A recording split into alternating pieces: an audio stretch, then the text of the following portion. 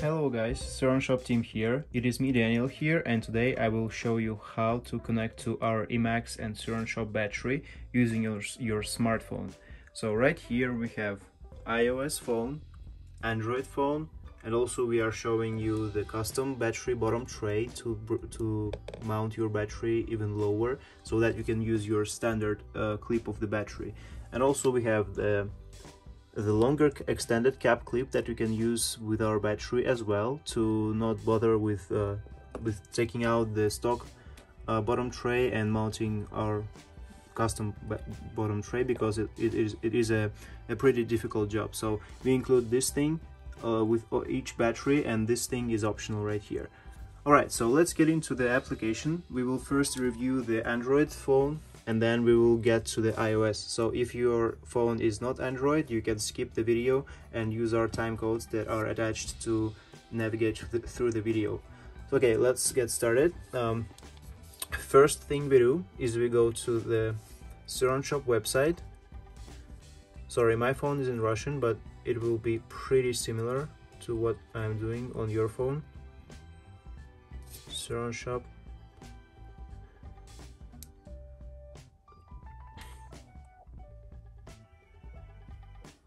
all right so we go to the website we find our battery. And in this section of the battery we will find the link to our um, cloud where you will find the files for for to update your um, uh, to download the application for the for the battery. Uh, I'm using the the Russian file um, cloud. I will switch to English cloud. So you will have the correct link. I will ju I just switched to the different uh, link to find your uh, your applications. Uh, okay so right here we go to Android app and we go to the ANT BMS we download this file. Please download it on your phone. I have already downloaded this file. Um, this is this is how it looks. It's called my BMS uh, once you install this program on your phone first uh, thing you have to do next um, is you have to turn on the battery using this button. You have to press it a couple times to wake up the battery Bluetooth uh, transmitter. And next we go to the to the device uh, Bluetooth settings. All right, so right here I have to find. Uh, let me uh, let me disconnect the battery to show you again how to do this. So I turn off and turn on my Bluetooth and then I look for BMS, uh, not BLE, but BMS device like this. I enter the password. Password is always the same. It is one, two, three, four. I press confirm. I wait for connection and now I established connection with my battery. Next thing I do is I go to the to the application and it will automatically establish connection with the battery. Right, so I managed to establish my connection with my battery and it said, uh, it confirmed that. Now I can go to the real time, time state to check my battery status. So right here, right here, um, we see the voltage parameter, the current that will that will go up once you press throttle. Um, capacity is not working, don't pay attention to that. You have to simply check the voltage and we will give you the table um, how to navigate through the voltage. Like what voltage level means what percentage level you have. And also you can use our battery display to navigate through the through the battery charge level. Um, all right so right now it is pretty low charge. 54 volts is pretty low charge. Um, next parameter we have here is um, power. Power is also gonna increase once you once you apply some, some throttle uh, state of charge SOC parameter is also not working here, so please don't pay attention to that. Cycle AH means the capacity of your battery. So how many life cycles do, does it have? Uh, I mean, how many amp hours did it, uh, was drained from the battery? Right now, this battery has two uh, around approximately two cycles because 95 amp hours, and our battery capacity is 52. This is like normal for a new battery because we test the battery before we, we ship the battery. Uh, next we have the cell high which is the the highest uh, elements charged level um, voltage level. And then you have the lowest uh, elements charge uh, voltage level. Then we have average of the cell charge. And then we have the important parameter that we have to pay attention to is cell difference cell difference uh, is your difference between the cells and you have to make sure that this value is as close to zero as possible because if it is close to zero then your elements will be discharging uh, uh very equally and therefore you will get the maximum possible range out of your battery. So if your value uh, is higher than uh, 001 like here. We have 0 uh, um, 15 right now. Um, we have to go to the BMS control. And we have to find here um, the balancing the manual balancing parameter. So right here it is um, auto it is called auto balance. So we press that and then we see that our battery is now in, in auto balance state this is now start uh, you have to give it like 24 hours to fully balance uh, each element and this will help you have a longer ride. So what i suggest to do if you have this parameter not not very good value please fully charge your battery and if this parameter is not like zero zero something um, zero zero zero something sorry uh, you have to press auto balance and give it some time to equal the voltage and then fully charge it again. So this is how the battery application works there is nothing more you will need in this application other than the turn off of the battery um, turn off button which is called system shutdown. This is needed for long-term battery storage. So if you plan your not to use your battery for a couple months keep it charged up to 60% showing on the display right here um, right here.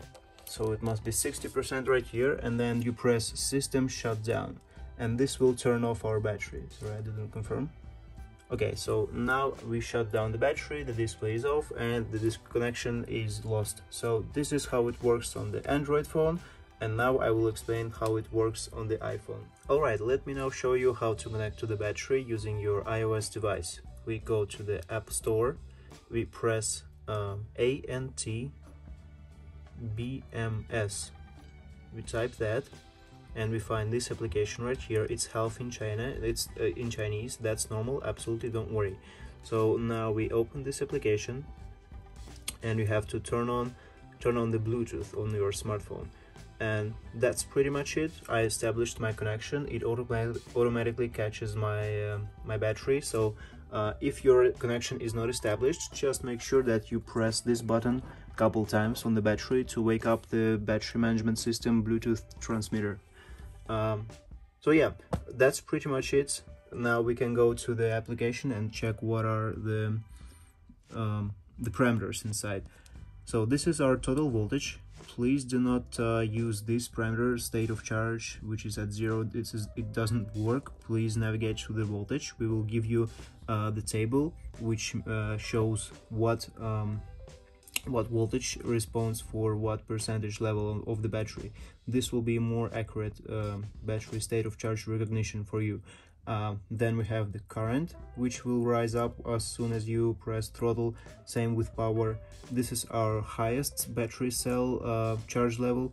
This is our lowest battery cell charge level and this is our mean of the charge of all 16 elements that we have right here. This is the mean and now this is the important parameter right here which is called cell difference. Cell difference is the parameter that says what are the what is the difference between the highest and the lowest battery uh, element charge. Uh, so what you have to do is you have to check if this if this parameter is um, is higher than 0, 0, uh, 0 0.01 like here.